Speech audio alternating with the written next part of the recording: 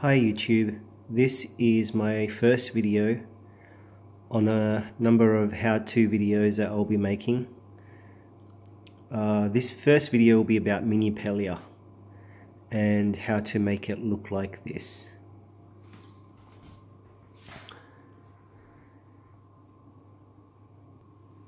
If you like this video, please like and subscribe and I will be making more videos like this in future.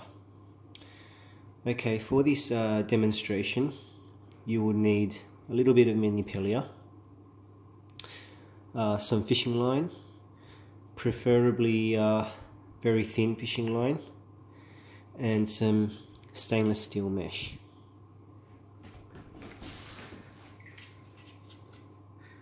So first of all, you get the end of your fishing line and you put it through you put it through the corner there.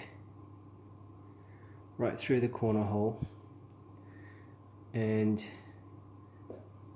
you make one loop one tie just like this.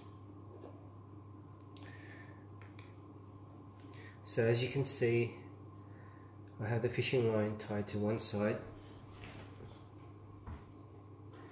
Then you'll be getting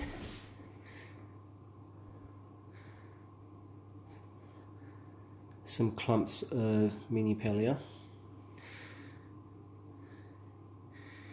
and you'll be lying it kind of flat.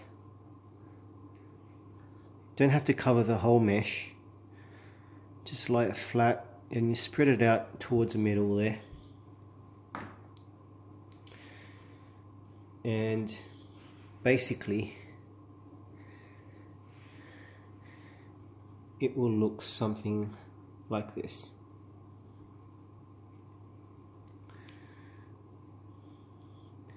Then with your nylon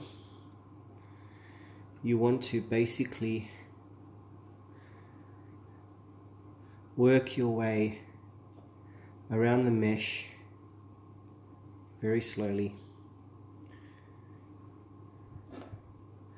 and you want to wrap that mini pellia onto the mesh. Now with this last end bit here just cut it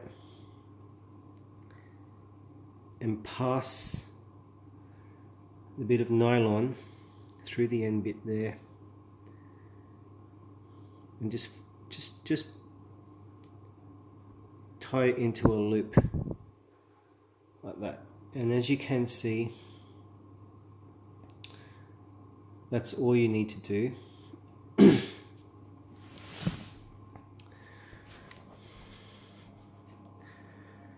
And whoops drop it into your tank and just lie it flat like that. Now, in about a month or so, it will grow out to be looking something like that. Alright please like and like or subscribe if you like this video and I will be making more videos like this in future. Thank you.